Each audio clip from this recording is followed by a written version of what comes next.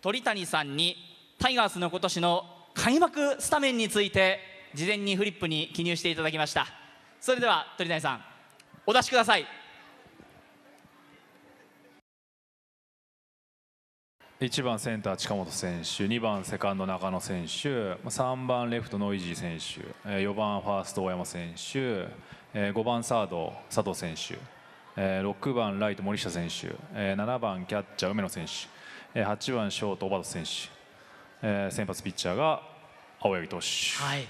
そして一押しのところには佐伯投手の名前を挙げられてますね。そうですね、えー、佐伯投手もキャンプから、えー、状態もいいですし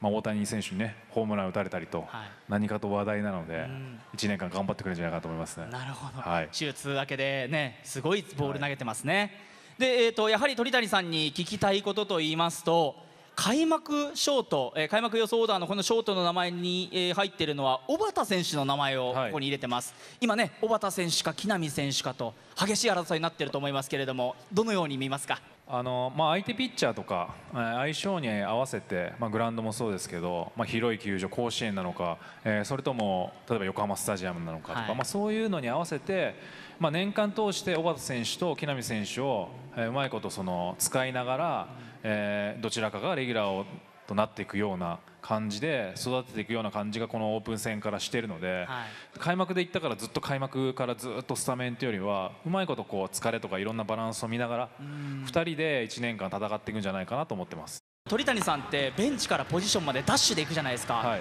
あれもやっぱりそのショートの守備につながるようにダッシュされてたんですか？例えば1イニングで行って帰ってきて2本走るじゃないですか、はい、で9イニング走ったら、そんだけ本数も多いじゃないですか。年間本数やったらすごいダッシュしてることになるんですよ。そうやって自分の体力をつけるのと次の回が先頭の時って早く帰って打席の準備したいんですよ、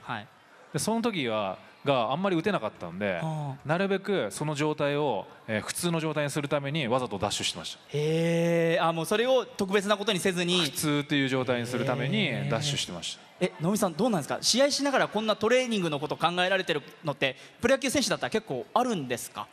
いやないと思いますしまあ確かに通り変えるの早いなっていうのは 思われてたんですか？はい。そうなんですね。いや今話聞いてすっごいなって思って。いやだからそのいいプレーしてね、はい、こうやっぱりハイタッチをしようかなと思ってもさっき帰ってるんで。いないって。ピッチャーの横を抜ける時が一番スピード乗ってますからね ちょうどスピード乗ってベンチ行って、なるほど。で予想オーダーの中でもう一つ気になるのがやっぱり背番号1を継承した森下選手、はい、こちらは鳥谷さんどうでしょう？バッティングの方のね状態もオープン戦含めて、1軍でいけるなっていう、え感じは多分、まあ、首脳陣の方も思ってると思うので、まあ、1年間、えー、守れるかどうかは分かんないですけど開幕から使っていって、えー、うまいことこう、まあ、やすずっと出るっていうよりも、まあ、休んだりしながらあのまあレ、レギュラーとして育てていくっていう形で、えー、試合に今年は出るんじゃないかなと思います、ね、あなるほど。能見さんは森下選手ルーキーのあの姿というのはどのように見てますか、はい、まあ、ピッチャーから、ね、どう抑えたらいいんだろうっていう見方でよく見るんですけど、はい、まあ本当にね振り回すだけじゃないっていうのはね、えー、キャンプ見てても思いましたし、えー、もうちょっと脆いのかなって思ってたんですよ、緩急であったりとかちょっと緩いボール投げた時に、えー、まあ、体勢が崩されるんじゃないかなっていうイメージは持ってたんですけどそうでもないのでそうですよ、ね、ちょっとピッチャーとしては読めないっていうところもすごくあるのでちょっと独特の間を持ってるかなっていうところが4打席ね立たすと立たれるとちょっと嫌なんですよね。森下選手あの崩されてちょんと当てにいくようなバッティングほとんどしないですよね。ビュッとしっかり振るようなイメージがあるんですけれども。でも自分のポイントを多分持ってるのでそこまで我慢できるかもしれないですし。あなるほど。うんそうですね。大いに、まあ、僕は期待はしてるんですけど。ああそうですか、はい、能見さんはこの鳥谷さんが予想された開幕スタメンの中でキーになってくる選手挙げるとすればどの選手になってきますか？キーはで僕はでも佐藤選手かなとは思ってるんですけど佐藤選手。はいまあ、ポイントというかね、えー、ホームランを打つ力ももちろん、ね、ある中での、まあ、僕もオリックス時代に対戦何回かしましたけど、はい、やっぱ打球の強さっていうところはあ肌で感じましたし、でももうちょっとこうしたらいいのになっていうのはすごく僕の中ではあったのでそうなんですね。本当にね攻めやすいっちゃ攻めやすいんですよ。そこに食いついてくれるんでそういうのがなくなった時に、えー、非常に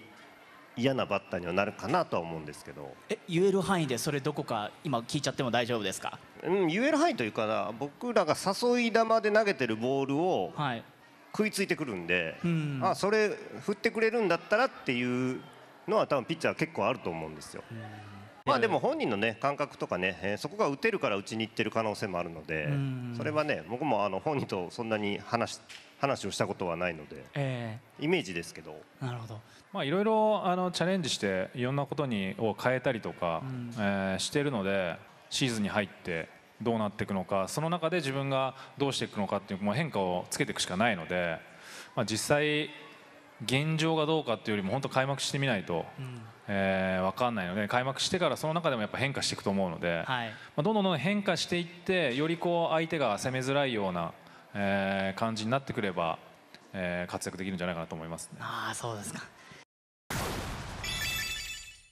今回は開幕カードでの、はい。えー、解説をお願いしておりますが昨年ねあのかなりあの開幕、えー、厳しい戦いしてましたし、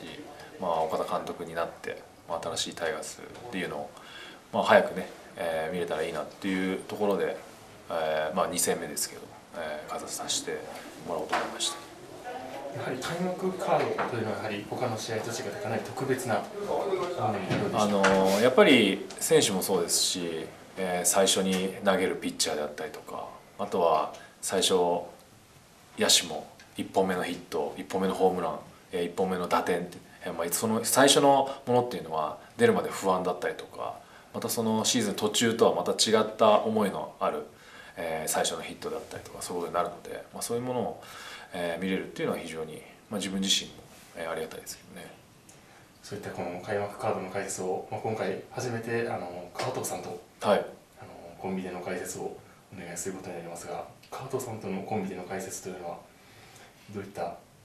望む上でどういった心境でしょうか？いやまあ川藤さんねあのその場の雰囲気とか、まあ、その選手起きたこととかどちらかというとね感情的にこの、えー、解説される方なので、まあ、自分は反対側としてあの落ち着いてあの感情的にならないように解説したいと思ってます。一言ちょっと意気込みをお願いできたらとあの、まあ、選手がねグラウンドで、えー、やってることっていうのを、まあ、少しでも分かりやすくあの見てる人たちがあこういう思いでやってるんだとかあこういうこのプレーにはこういう意味があるんだとか、まあ、そういうところを、えー、伝えていけたらいいなと思ってます。